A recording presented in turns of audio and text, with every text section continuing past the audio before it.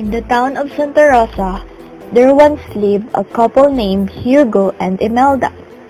Every mealtime, they quarreled over the chore of washing the dishes.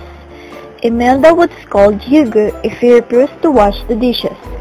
Sometimes, she would become angry and call him names, and if he talked back, she would get coconut made broom and chase him with it.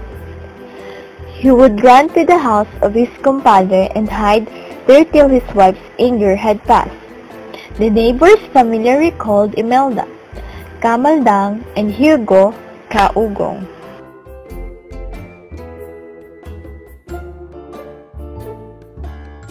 One day, just as they were finishing their lunch, Kaugong announced, I'm not going to wash the dishes anymore. Who say so? I say so. I worked so hard in the field this morning. I'm not going to wash any dish.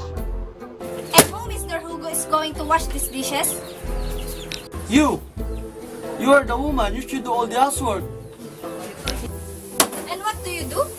You tie the carabao in the reeds of the field, and then you lay down on the grass to watch it graze? You call that hard work?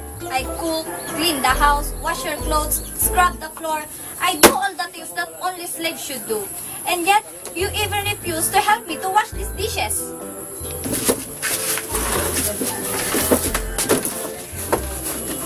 You!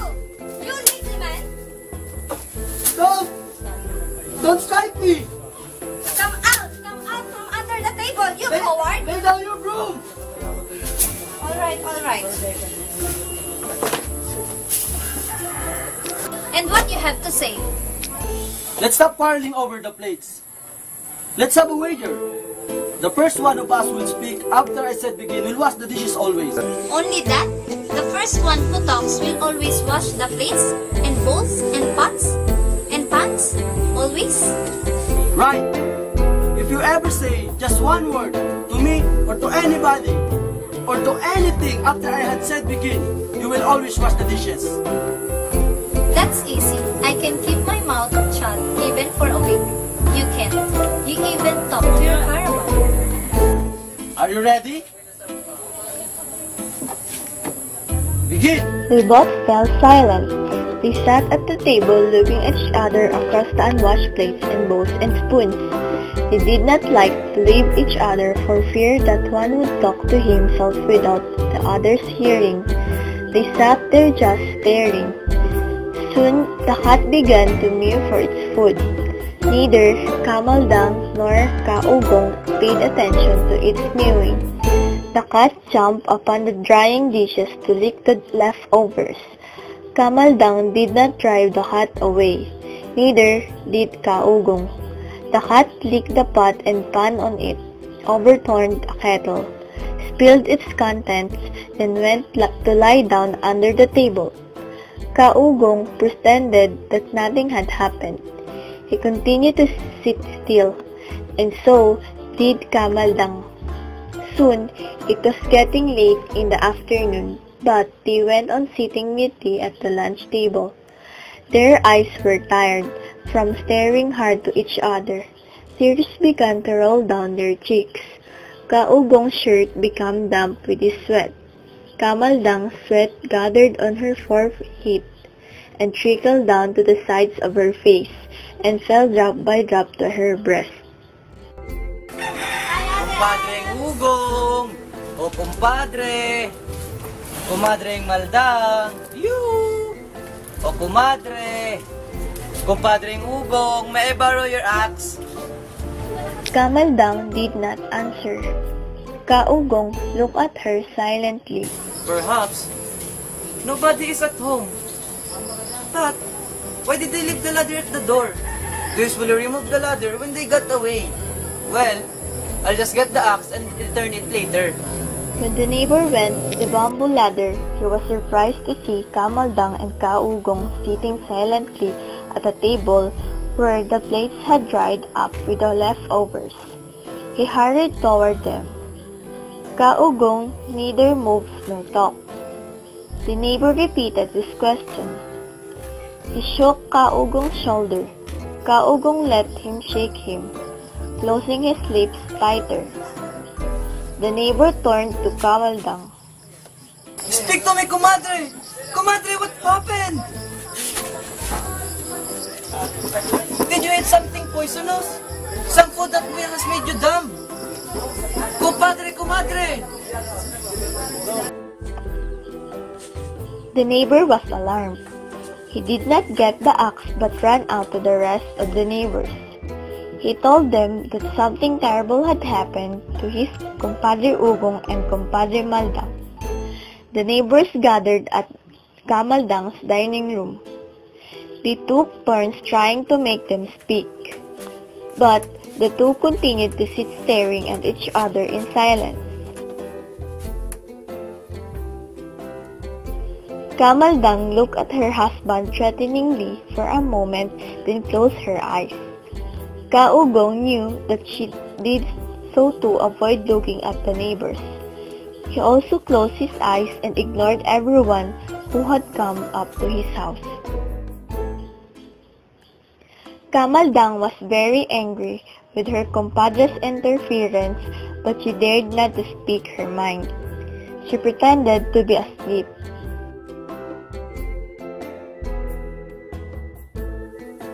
The compadre was very much worried. He ran to the village herbman.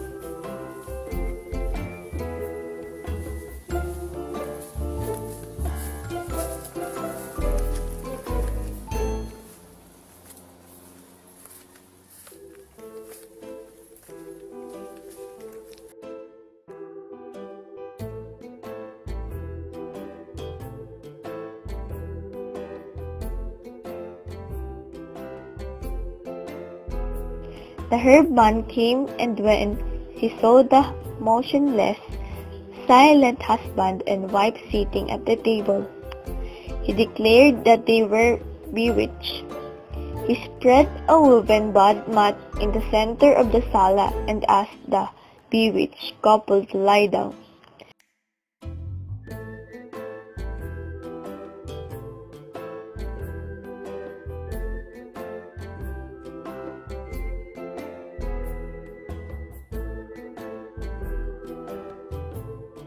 Kaugong obediently lay down and closed his eyes. He curled up and went to sleep. But Kamaldang refused to get up from where she sat at the dining table.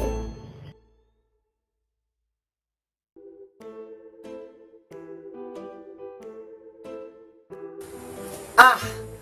The spirit that has taken possession of her is very stubborn. I must break its spell.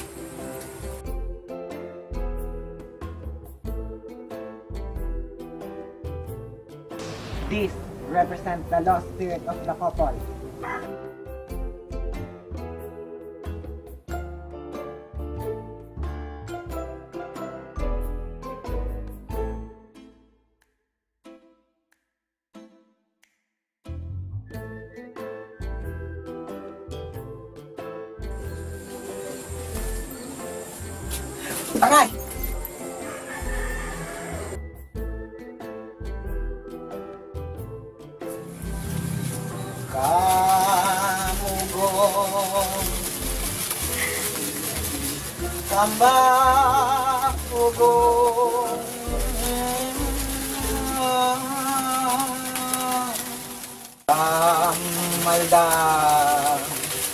Come home to your body now Kamaldang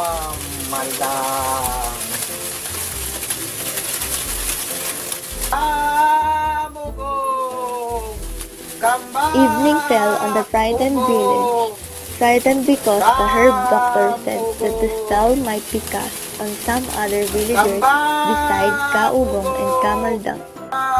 He called to the bewitched couple softly at first, and then louder, but became tired so she reclined against the bamboo wall. This is the first witchery of its kind that I met here. By their silence, I believe that they're dead. Their spirits, driven away by the witch, have left their bodies. The only thing to do, in order to keep their soul in peace, and to prevent the witchery trap from spreading among us, is to bury them.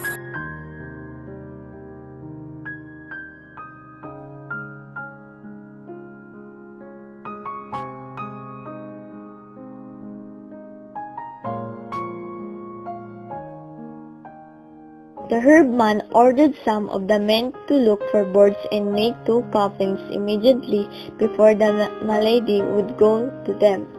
In no time, the two coffins, made of rough planks hurriedly nailed together, were finished. The woman began to weep for dung. She had leaned rigidly against the back of her chair, closed her eyes, and shut her lips tight. The herbman asked the men gathered around to lift the couple into the coffins. I'll bury them at sunrise. Some of us have to stay from the wake of the dead.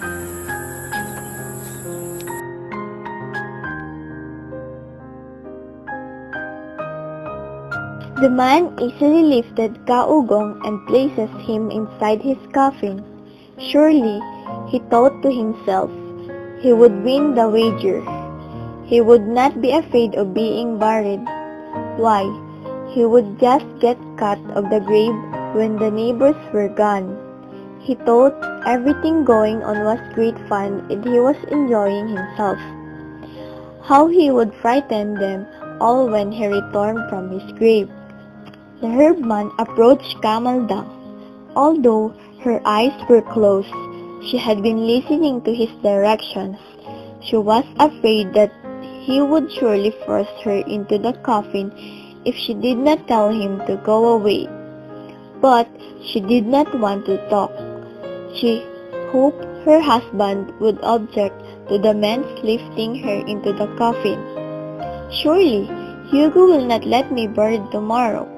Ah, I'm afraid to sleep in the coffin tonight. No, I'll not let them lift me into it, she thought to herself. But she did not hear Kaugong speak. She opened her eyes just as the herbman, aided by two other men, put his arms around her to lift up from her chair.